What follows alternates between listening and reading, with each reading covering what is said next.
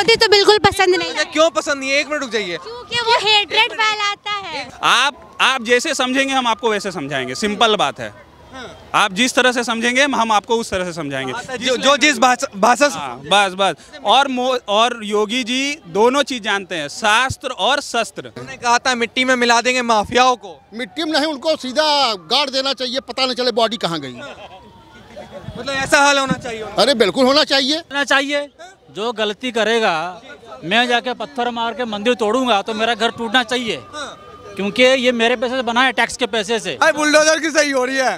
पहले पत्थर फेंकने से डरते नहीं थे बंदे। अब पत्थर फेंको अगले दिन बुलडोजर फिर गया घर पे। ईट ईट कर देते और क्या चाहिए?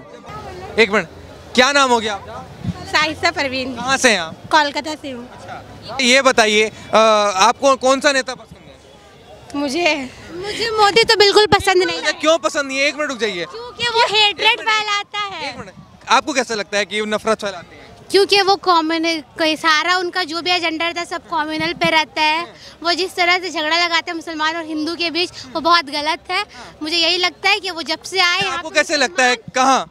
हर जगह से लगता है आप एनआरसी सी हर जगह में देख लीजिए सारे जगह में मुस्लिम और हिंदू जब से वो आए 2014 से तब से लेकर अभी तक हर जगह हम अपने स्कूल और कॉलेजेस में देख चुके हैं किस तरह हिंदू और मुस्लिम स्टूडेंट में बहुत इतफाक हो चुका है। बुलडोजर भी बात हो रही है बुलडोजर चल रहा है जगह जगह तो क्या वो भी सिर्फ़ मुसलमानों पर चल रहा है?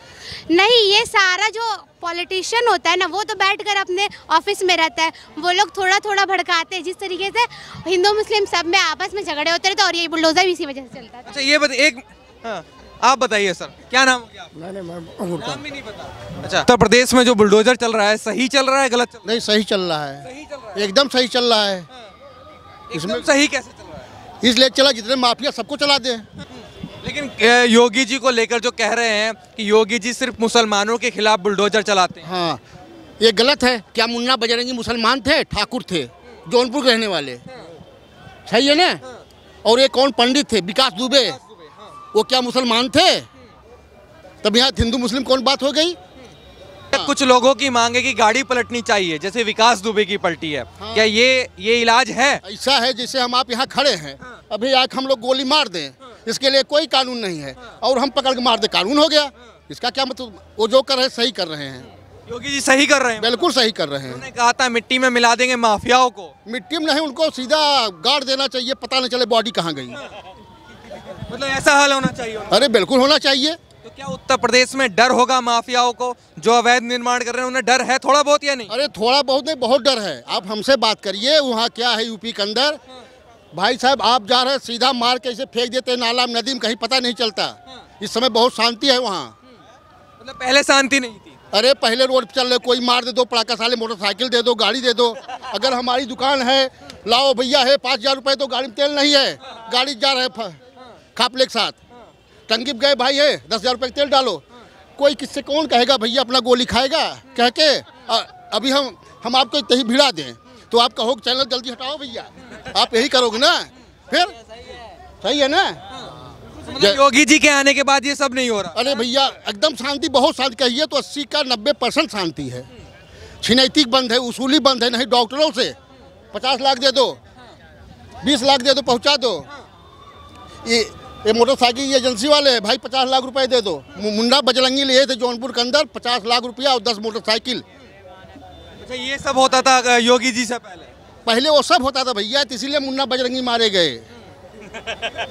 क्या उसमें हिंदू मुस्लिम कौन से बात? अतीक अहमद को अभी डर है वो सुप्रीम कोर्ट पहुँचते हैं वो गुहार लगाते हैं कहीं गाड़ी ना पलट जाए। योगी जी एक गलती कर रहे हैं गाड़ी क्यों पलटवा रहे हैं? मरवा दे जैसे मुन्ना बजरंगी मरवाए।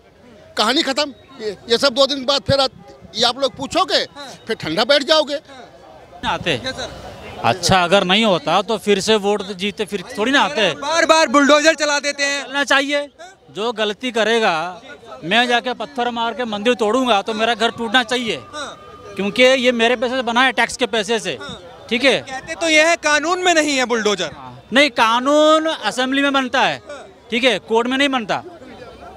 असेंबली में बनता है तो वहाँ पे नया कानून बना के तोड़ा जा रहा है। कोई गलत नहीं काम करा। और अब गाड़ी पलटना चाहिए। गाड़ी पलटनी हाँ जो गुंडागर्दी करेगा उसको वहीं ऑन द स्पॉट गोली मार देना चाहिए। मतलब गाड़ी पलटने का अब मांग है। Hundred percent. अतीक अहमद की गाड़ी पलटेगी क्या? अरे किसी की भी। जो भी जो भी गलती करेगा गुंडागर्दी करेगा गाड़ी पलटना चाहिए। गाड़ी पलटना चाहिए। भैया आपको क्या लगता है गाड़ी पलटनी चाहिए क्या? भाई भेजो यूपी में गुंडे को। गाड़ी ना पलटे तो जब बोलना। बाबा जी जो कह रहे थे कि मिट्टी में मिला सही कह रहा है। बाबा सही कह रहे हैं। गुंडे सब मिट्टी में मिलेंगे। खाक में मिला देना चाहिए मिट्टी क्या? पूरे एकदम जला के खाक में मिला देना चाहिए। ज़्यादा गुंडे नहीं हुए आज तक। सब मिट्टी में मिल चुके और मिल रहे हैं।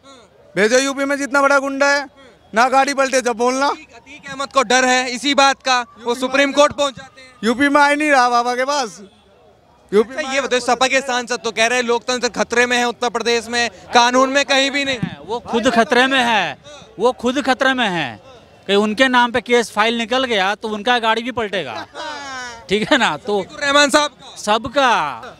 तो मतलब बुलडोजर की कार्रवाई सही हो रही है? भाई बुलडोजर की सही हो रही है। पहले पत्थर फेंकने से डरते नहीं थे बंदे। अब पत्थर फेंको अगले दिन बुलडोजर फिर गया घर पे। ईट ईट कर देते और क्या चाहिए? बदमाशों का गुंडों का इलाज बुलडोजर ही है। बुलडोजर ही है। जैसे को तैसे होना चाहिए। बिल्कुल। बिल्कुल अंकल जी आपको क्या लगता है बदमाशों का? बढ़िया काम हो रहा है हि- हिंदुस्तान के अंदर। सब समझ गए? मोदी जी है ना? उत्तर प्रदेश में मोदी आप जी? हाँ दिल्ली में मोदी।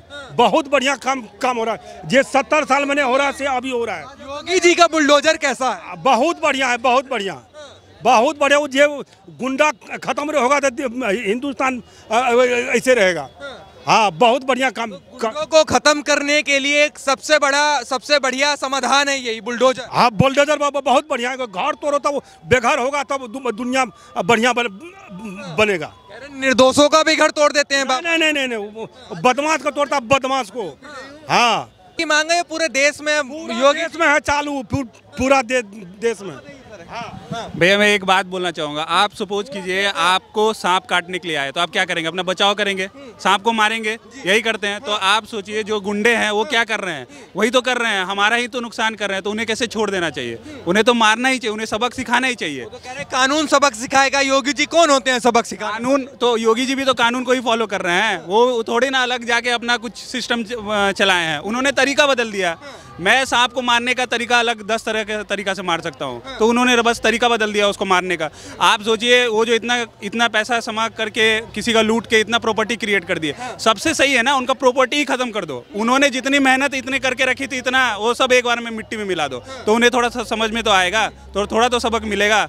लोग इतना मेहनत करके एक प्रॉपर्टी बनाने में कितना समय कितना इन्वेस्टमेंट कितना टाइम लगता है। वही वो सबसे सही तरीका है सिखाने का जो भी गलत कर रहे हैं। तो मुझे तो लगता है कि, कि आज हमारा देश इसलिए इतना पिछड़ा है क्योंकि हम लोग क्या कर रहे हैं कि, कि जो आताताई हैं उनको प्रोटेक्शन दे रहे हैं किसी न किसी रूप में। हमें उनको उनका प्रोटेक्शन को ख़त्म करना पड़ेगा उनका वैल्यू को गिराना पड़ेगा। जब तक हम उनका वैल्यू नहीं गिराएँगे तब तक हम आगे नहीं बढ़ सकते हैं।